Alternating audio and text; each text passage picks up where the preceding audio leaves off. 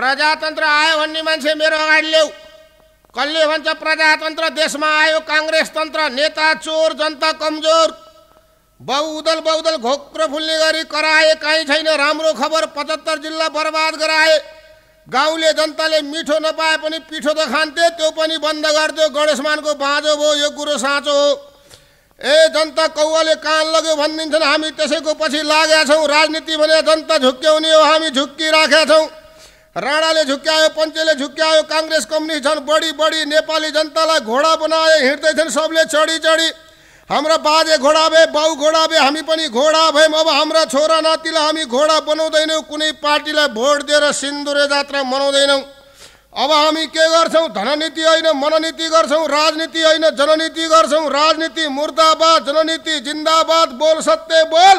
प्रत्येक वडामा स्वतन्त्र सङ्गठन खोल। बाँच्ने उपाय अरू केही छैन।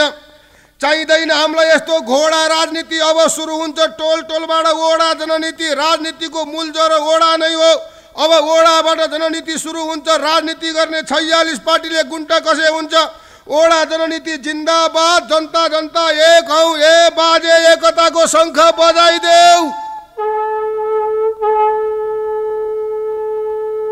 नारायणघाटमा एउटा इन्डियन केटीले पाँचवटा नानी फकाएर सारा चितवनवासीलाई छकाउन खोजेका थिए। पछि जनताले समातेर पुलिसको जिम्मा ल्याए त्यसको बाउको बिहादेखि त्यसैको बिहा देखाइदिनु पर्ने। केटाहरूले हामी देखाइन्छौँ लिए भने थिए अरे पुलिसको कब्जा परे केटी किन छोड्थ्यो र?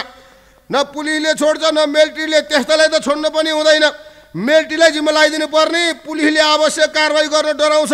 हलो भन्ने बित्तिकै माथिको आदेश छोड्नु परेको जे होस् नारायणगढका जनताले एकता बलियो देखाए धन्यवाद। अब त्यस्तै एकता अधिराज्यका प्रत्येक वडा वडामा होस्। चितवनवासीले एकताको लागि महत्त्वपूर्ण भूमिका खेलुन्। नारायणघाटलाई केन्द्रीय कार्यालय बनाएर सम्पूर्ण वडावासीले सर्वसत्ता सम्पन्न जनशक्ति सङ्गठन खोलुन् भन्ने उद्देश्यले तयार गरिएको क्यासेट राष्ट्रिय क्रान्ति। ओडावासी जनसमुदायले राष्ट्रिय क्रान्ति गरौँ मान्नुहोस् यति बेला म कुनै ओडाको मञ्चमा उभिएर जनताको बोली बोल्दैछु। एका देशमा एउटा सहर छ यहाँ जनशक्ति छैन। जनशक्ति नभएको देशमा जनताको बोली बोल्दैछु जिउँदै चितामा सुतेर आफूले आफैलाई पोल्दैछु राजनीति भण्डाफोर सबको धोत्ती खोल्दैछु। गोली हान्नेलाई स्वागत छ बाँच्ने जाँगर मर्यो जिन्दगी एक जुवा रहेछ चौका हाने छक्का पर्यो।